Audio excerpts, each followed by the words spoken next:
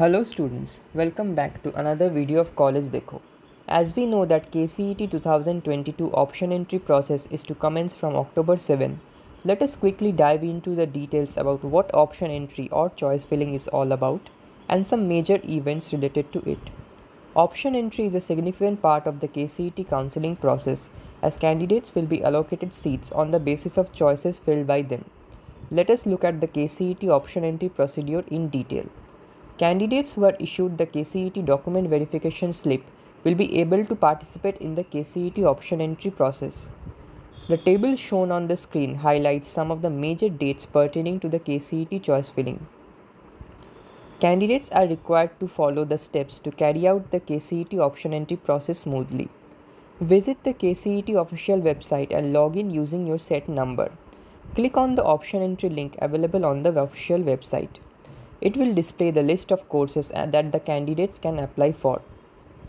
After selecting the course, the list of colleges offering the particular course will be displayed.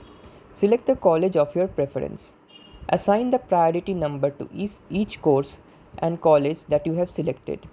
The priority numbers should be assigned in sequential order.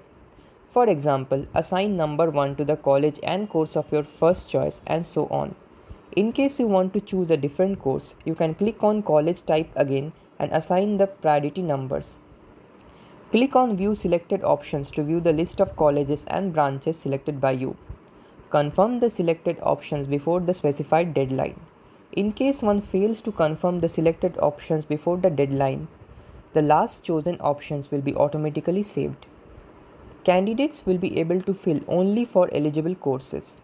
Candidates should choose as many courses and colleges as possible to increase their chances of admission via KCET seat allotment.